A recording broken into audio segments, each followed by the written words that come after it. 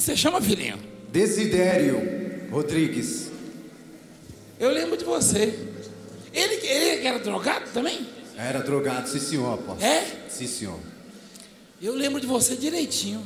A minha vida, apóstolo, era só pela misericórdia de Deus. É, Muitas pessoas me conhecem, sabem o jeito que eu era. Você chegou louco, eu, eu lembro muito bem de você. Apóstolo, Você ficava gritando para me dar um abraço, né? sim senhor. Hein? Sim senhor. Eu estava derrubado. Eu cheguei nessa igreja com uma touca na cabeça, se escondendo de tanta vergonha, apóstolo. Eu era um drogado. Eu bebia álcool de posto de gasolina, apóstolo. Bebia cachaça. Ficava uma semana na rua sem comer nada, só usando droga e bebendo álcool de posto de gasolina. Igual mendigo. Igual mendigo, não tinha nada, nada. Nada, nada, nada. Nem roupa no corpo eu tinha quase. Você não tinha lugar para dormir, não tinha roupa, não tinha. Com frio Tinha desse aí que tá fazendo, você ficava doido, né? Com a roxa. Misericórdia, era só por Deus, apóstolo. Para aguentar um frio desse, era só misericórdia de Deus.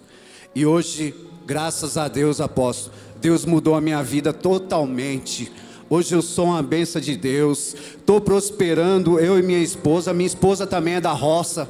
Ela veio da roça, rapaz, apóstolo. Eu conheço os dois. É. Aliás, eu conheci você primeiro do que ela. Não é sim, senhor. Sim, Não, eu conheci ela primeiro que você e você primeiro que ela. Sim, senhor. Quando você chegou louco, eu vim. Você Sim, me. senhor. Eu quero um abraço para mudar a minha vida, não foi? Foi, sim, senhor. Você acha que eu esqueci? Não, não esqueceu, não. Ele gritava: Apóstolo, me dá um abraço para mudar a minha vida. É. Mudou a sua vida? Mudou, graças a Deus. Deus mudou totalmente, apóstolo. Eu tô vendo Hoje ali, eu ó. sou feliz. Aquilo ali é de vocês já? É nosso, é nosso. Já tem carro também? O casamento que o Senhor profetizou na minha vida aconteceu. Deus me deu a casa própria, um terreno na praia, nas 10 praias mais bonitas do Brasil, que é na Bahia, no Morro de São Paulo. 90 metros quadrados. Eu conheço lá. É lindo mesmo, é, É lindo. lindo, é lindo, no Morro de São Vem cá, dá um abraço, vem cá. Hoje sou Morro do São Paulo, lembra? Aleluia, Deus só quer o nosso bem. Hoje sou livre, livre para ser. Peraí, peraí, peraí. Em quanto tempo isso? Isso em sete meses. A gente casou dia 24 de outubro. A gente viajou para passar lua de mel no Morro de São Paulo.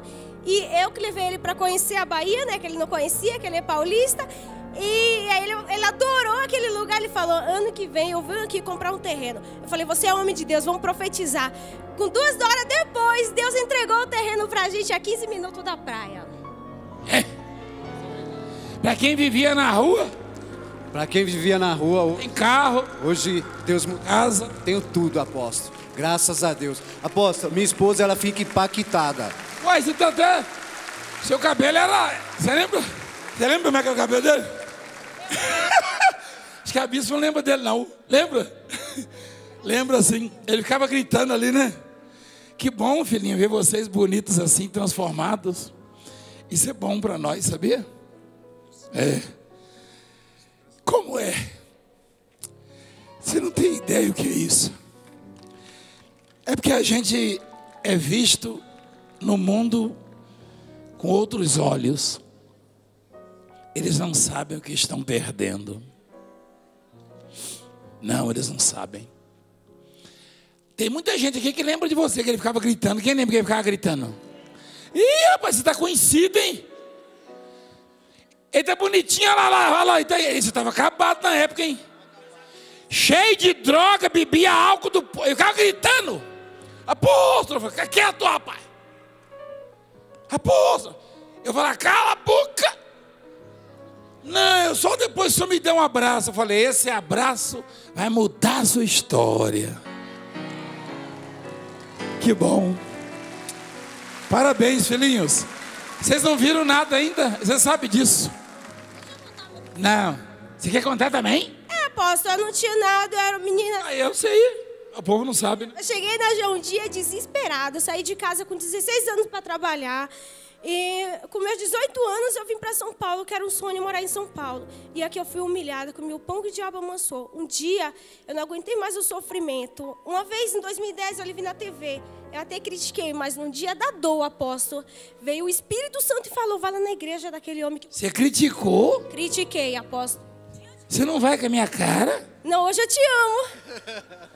Você estava mangando Deus lá em casa? Não, eu só tinha. Foi uma. Você não conhecia, né? Não conhecia. Eu vi o senhor soprando no ouvido de um surdo. Eu lembro como se fosse hoje. Eu falei, nossa, esse negão aí soprando no ouvido do surdo aí. E o surdo ouviu? Ouviu, mas eu olhei por debaixo do olho, sabe? Falei, nossa, mas aposto, naquele dia pra cá, o senhor sumiu na televisão, não vi mais nunca. Mas na hora da dor, depois de dois anos que eu tava aqui em São Paulo, o Espírito Santo disse: vai na igreja daquele negão. Eu cheguei lá na João Dias desesperada. Ele falou assim com você, negão, peraí. Não, Deus falou comigo, né? Me lembrou aquela parte ali. Que... Ah, o negão é por sua conta. E eu vim na igreja. Peraí. Rapaz, que coisa. O problema é esse, você, quer, você, você dá chance para um contar um milagre, aí o outro quer contar também.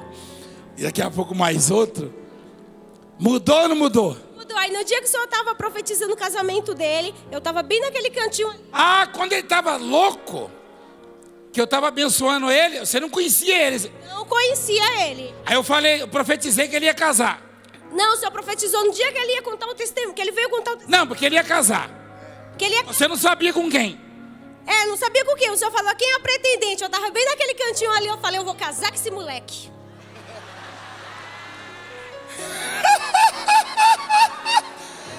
É, moleque!